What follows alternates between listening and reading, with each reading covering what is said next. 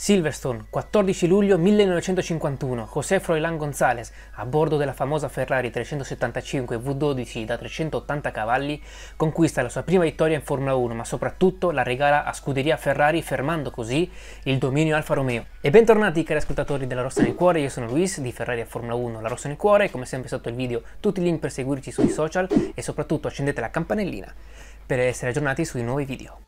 Bentornati ferraristi alla quinta puntata di Viaggiando in Formula 1, un format che ormai sta piacendo tantissimo. Su Instagram ci avete scritto in tantissimi per poter avere una nuova puntata e tra le tante quotate uno di voi ci ha proposto addirittura la prima vittoria a Ferrari il 14 luglio 1951 con eh, José Froilán González. Oggi con me non c'è il mio caro amico Matteo, ma lo saluto sempre tantissimo. Ma prima di parlare del Gran Premio britannico, conosciamo un po' la storia anche di questo pilota argentino.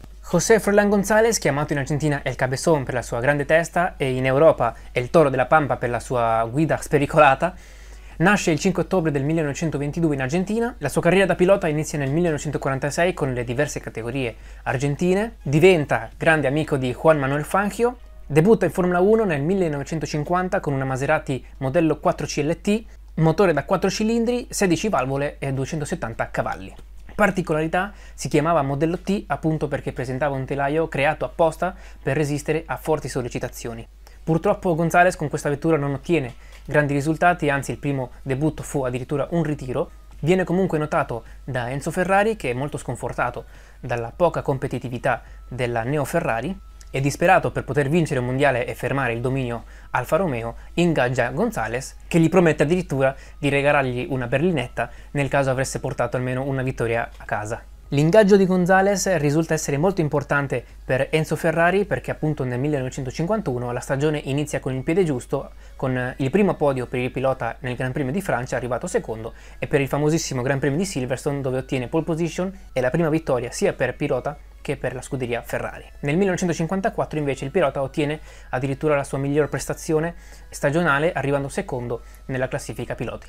Lo stesso anno ottiene la vittoria anche nelle 24 ore di Le Mans con la 375 Plus, ottenendo in carriera in generale in Formula 1 3 pole position, 6 giri veloci e 2 vittorie. Dopo il suo ritiro dalle competizioni, nel 1960 si dedica alla vendita di auto in commercio. José Froilán González muore all'età di 90 anni il 15 giugno del 2013 nella sua città natale in Argentina. Ma senza soffermarci troppo alla vita di questo stimato pilota, vi racconto un piccolo aneddoto raccontato appunto dallo stesso pilota prima e durante il Gran Premio di Silverstone. Questo aneddoto è veramente interessante e devo dire che mi ha tanto incuriosito soprattutto cercare che cosa è successo prima, dopo e durante il Gran Premio di Silverstone del 1951 e in questo Viaggiando in Formula 1 voglio dedicarvelo. Come sapete ai giorni nostri eh, molti piloti molte scuderie preferiscono utilizzare il giovedì per poter studiare la pista, conoscere i punti di corda e conoscere i limiti della pista. All'epoca questa cosa non era molto comune, ma per quel Gran Premio ci fu un'eccezione. Infatti qualche giorno prima del Gran Premio Fanchio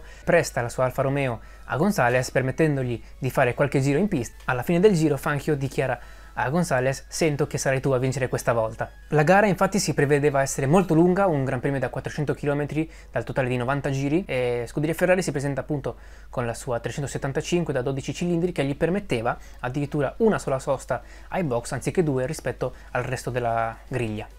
José comunque racconta che questa cosa non era molto vantaggiosa all'inizio, appunto perché la vettura era veramente pesante. Infatti una volta partiti Gonzales prende il comando del Gran Premio, seguito ovviamente da Fanchio. Dopo diverse tornate Fanchio supera il ferrarista, ottenendo un diverso distacco che piano piano si va riducendo quando appunto la 375 inizia a consumare più benzina. Dopo il primo pit stop di Manuel Fanchio, Gonzales prosegue la sua corsa e una volta arrivato il momento della sua unica sosta ai box, L'argentino infatti racconta che durante il suo rifornimento era previsto il cambio con Alberto Ascari, quest'ultimo gli mise una mano sulla spalla indicandogli che deve continuare lui e che si meritava lui la vittoria e infatti è stato così.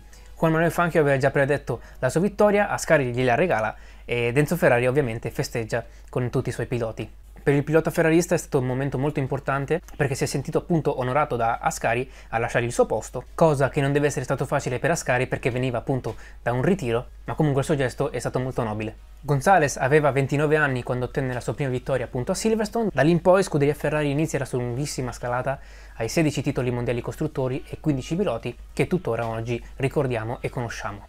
Bene ragazzi, questa puntata di Viaggiando in Formula 1 era dedicata appunto a questo piccolo aneddoto che ho scoperto che mi hanno raccontato che volevo appunto dedicarvelo. Speriamo che Ferrari nei prossimi anni ci regali altre conquiste, altre vittorie, altre emozioni. Noi tifosi ovviamente dobbiamo aspettare ed essere qui a sostenerla. Per oggi è tutto, ci vediamo settimana prossima per analizzare il Gran Premio del Bahrain e per altre puntate di Viaggiando in Formula 1. Ciao ragazzi e forza Ferrari!